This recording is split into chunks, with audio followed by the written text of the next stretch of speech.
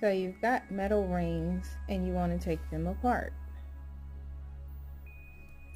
First thing you want to do is make sure the crooks, these little pieces here, are on the side.